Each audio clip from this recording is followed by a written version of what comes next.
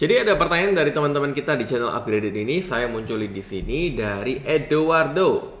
Halo kak, halo. Maaf mau nanya kalau LP-nya pakai Linktree bisa nggak ya?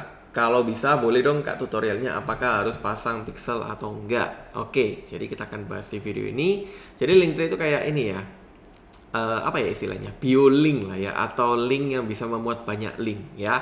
Jadi um, sebelum bahas ke sana, kembali lagi bersama saya Sean Andreas dari upgraded.id dan hari ini kita membahas gimana cara iklan Facebook atau uh, iklan Facebook ya nanti eh, iklan Facebook ini metanya uh, Facebook atau Meta ya menggunakan Linktree ya. Jadi uh, tanpa basa-basi lagi langsung masuk aja ke layar laptop saya teman-teman. Jadi kalau teman-teman belum tahu Linktree itu yang seperti ini ya. Apa ya sebutannya ya? Biolink lah ya, yang link yang bisa memuat banyak ini kan ya. Ini saya nggak tahu ini dari siapa ya, ada Kompas. Jadi link tree itu linknya bisa memuat banyak link. Karena kalau misalkan teman-teman bikin di Instagram ya, dulu nggak ada ya, sekarang ada sih. Jadi kalau dulu Instagram itu kan cuma bisa muat satu link nih. Sekarang ada fiturnya ya. Yang mana ya kalau misalkan kita punya banyak link, agak sulit nih kalau kita mau masukin banyak link di dalam satu link bio Instagram kita. Makanya sekarang ada namanya link tree. Nah, link tree itu kan satu link, ya misalkan ini link tree, link link l i k l i n k t r dot .ee e, so the kompas. Nah, dengan kita masukin ini saat orang klik itu bisa masukin banyak hal. Ada banyak ya kayak link tree, apalagi Misha ya. Misha itu juga sering pakai ya. Misha, MS ya ya. Nah, MS ya link itu juga sering dipakai. Ini ya. Misha itu apa? Milkshake kayaknya. Nah, ini ya. Ini juga sering dipakai ya. Biasanya kayaknya kebanyakan cewek pakai ini ya. Oke, terus apalagi type link, jadi banyak. Oke, nah kembali lagi ke pertanyaan tadi, apakah kita itu kalau mau iklan, bentar, ini kenapa nih? Oke, oke, sip. Jadi, apakah kalau kita misalkan iklan pakai link tree itu caranya gimana? Ya, harus pasang pixel atau enggak? Seperti yang kita tahu, kalau link tree itu uh, fitur pixelnya itu harus pakai yang bayar. Ya, di sini saya lihat ini yang pricingnya ya.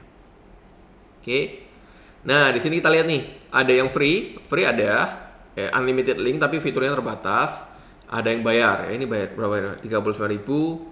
Ini berapa? 75 ribu. Ini 220 ribu per bulan. Oke? Okay?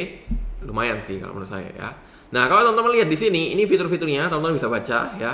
Tapi kalau kita masukin ke Facebook Pixel nah ini ada Facebook Conversion API itu kalau kamu mau dapetin fitur Pixel kamu harus bayar 75 ribu.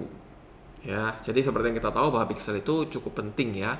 Atau kalau misalkan UTM hmm, itu juga Google Analytics ya itu harus pakai yang berbayar 75.000. Oke. Nah, gimana caranya iklan uh, pakai Linktree? Jadi seperti biasa kita tentuin objektif dulu.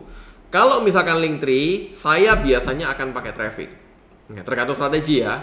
Kalau misalkan buat awareness, buat menjangkau orang banyak dengan budget semurah-murahnya, CPM semurah-murahnya ya pakai awareness. Tapi kalau tujuannya ingin arahin orang ngeklik, ya pakai traffic. Tuh. Oke, misalkan di sini saya set traffic atau kalau kamu udah pasang pixelnya ya, misalkan kayak tap link, kamu juga bisa pakai lead sih. Tergantung ya, makanya kondisinya apa. Tapi kalau misalkan kamu pakai link yang uh, gratisan, ya pakai traffic aja cukup sih. Oke, di sini kita pilih traffic. Nah, di sini seperti biasa isi aja CBO, ABO ya, terus isi targetingnya. Oh, di sini pilih website ya kalau Linktree. Oke. Um, di sini saya akan pilih maximize number of link clicks. Jadi kita nyariin orang yang klik sebanyak-banyaknya. Nah, yang membedakan apa? Kalau di Linktree, kamu tinggal masukin aja di sini linknya. Tuh, misalkan ini ya. Ini, saya masukin di sini. Oke, nah ini pilih none aja. Oke, udah selesai gitu. Jadi um, tinggal isi copywritingnya, tinggal isi captionnya kayak biasa. Jadi iklan metanya sama. Tergantung tujuan kamu apa, objektifnya. Kalau misalkan saya Linktree, saya akan cari traffic ya. Tapi kalau uh, kita juga pernah ya apa arahin ke tab link karena kita udah pasang pixel lead ya kita pakai lead. Oke? Okay. terus di bagian ad set kamu tinggal masukin aja websitenya misalkan di sini. Kamu klik conversion locationnya website terus performance goalnya kamu pilih maximize number of link clicks. Terus di sini seperti biasa kamu isi kayak targeting placement ya. Placement tinggal diisi. Nanti tinggal di bagian ad-nya kamu pilih ini ya website terus masukin link tree-nya pastikan dicek dulu preview ada tidak ada typo atau salah ketik jadi nggak bisa dibuka dan udah selesai ini tinggal pilih none aja ya jadi itu link tree cuman kalau teman-teman pakai link tree itu teman-teman hanya bisa trackingnya sampai ini sih sampai orang ngeklik aja. Cuma saya nggak saya nggak tahu ya kalau kan saya belum pernah pakai yang ini ya yang ada conversion API. Tapi kalau misalkan kita pakai link tree itu kita cuma bisa targetingnya sampai link klik aja ya. Uh, kayak misalkan kamu cari kayak view to cart itu kayaknya sih nggak bisa ya. Kayaknya ya. Tapi karena saya kan belum coba, nanti saya mungkin akan coba.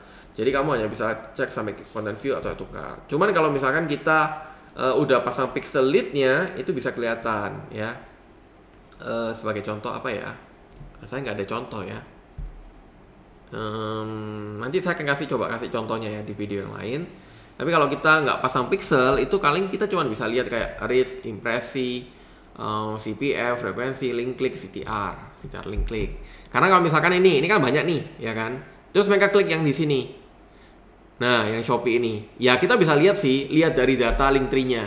Jadi dari data dalamnya, yang klik berapa banyak.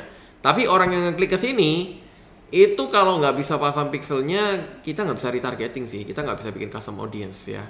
Cuman saya nggak tahu kalau di link tree gimana, bisa pasang nggak.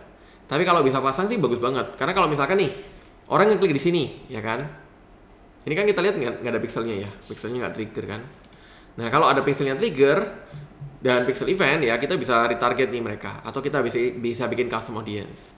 Nah, kalau orang ngeklik yang ini terus uh, di uh, tombol ini gini kita bisa pasang pixel, nah itu lebih enak lagi.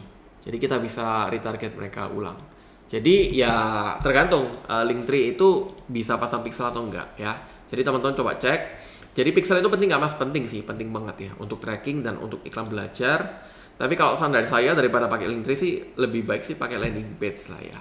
Landing page sendiri kayak WordPress aja cukup, Berdu aja pun cukup ya. Jadi dengan uh, Berdu, WordPress kan teman-teman bisa pasang pixel. Jadi kalau misalkan kamu pasang pixel, ya iklanmu bisa lebih pinter dan kamu bisa tracking nih orang-orang yang mengunjungi page tertentu untuk kamu retarget atau kamu bikinin look like audience-nya ya.